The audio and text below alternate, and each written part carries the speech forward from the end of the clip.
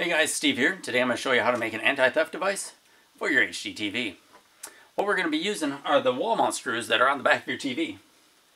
What we'll be doing is buying a piece of wire rope and we'll be stringing it between those two bolts. We're going to be stringing it through the two bolts using some eye bolts. I wasn't able to find eye bolts in the size that I needed at the home improvement store, so I made my own. At the end of the video, I'll show you how I made those. So the items we'll need for this project are one, we'll need a screwdriver, we'll need a piece of wire rope, we'll need a ferrule and stop set, we'll need an eyelet bolt. This is a screw, so this won't work. We need a bolt. I actually made one myself. Then we'll need a bolt cutter. So we're going to go ahead and find out which side of the TV we're going to put our anti-theft device on. I'm going to put it away from all my components, so I'm going to put it on this side. My TV actually has two screws already in here. Next we're going to take our screw holes and we're going to insert our eye bolts that we made. With our eye bolts installed, we want to make sure that the holes are sticking straight up and down. Next we're going to take our wire rope. You can buy this by the foot so you can get any length that you want. I just went with six feet. We're going to take this and we're going to run this in between the two eye screws here. With our wire rope installed, we're going to take our ferrule and stop set, and we're going to install the stops, which are the small pieces, on opposite sides of these eye bolts. Now, the way that the security system works is we're going to keep this rope, rope nice and tight with the stops. Well, a thief isn't going to be able to turn these screws because this rope is tight in between. Once we have our stops installed, we're going to take the, the opposite end of the rope and we're going to use the ferrules to make a loop. And then we can use this loop to wrap around our furniture with a padlock. Let's go ahead and let's install the stops. We're to give ourselves a little bit of slack and we're going to stick on this stop on the top of this thing. This is just a piece of aluminum, so it should be able to be crushed really easily.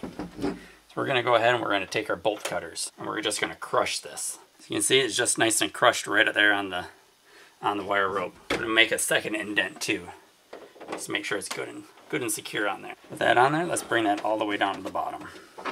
With our rope nice and tight, we're going to take our second stop and run it from the other end. Run it all the way up to where the, the TV is. Then we're going to take our bolt cutter again. I'm to crush this right there. Now we have our anti-theft device attached to the TV. Now a thief won't be able to undo these screws because there's not enough uh, space in here for the rope to completely spin around.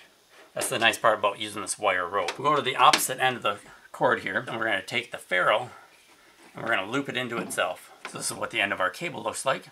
We're just going to put a couple crimps on this wire, and then we can grab a padlock and attach it to a solid object. So right there, there is our anti-theft device. Wire rope, run to a eye bolt that is hooked to the TV, two of them, with stops on the opposite sides of the cable. So this cable is good and tight. So we need to figure out which size bolt we need for our TV. I actually know that my TV is a six millimeter. Uh, so this bolt is about two inches long. Um, I believe it's uh, actually uh, 50 millimeters, if that makes a difference to you. Um, so I went ahead and I measured out how much actually can go inside of the TV screw hole. So I have about half inch, three quarters of an inch that I need to make sure that I don't wreck the threads. So we're gonna take two pieces of wood and we're gonna take our bolt and crush it in between these. We're going to be using a vise. So the wood is protecting the threads from getting crushed by the metal vise. So we're just to go ahead and throw that in there. And we're to take our hammer. So when we undo it, our bolt is starting to take shape. Now I'm to take a wide screw that I have and I'm to put that in here too. So by putting this in here, this will help keep a shape of the wire rope.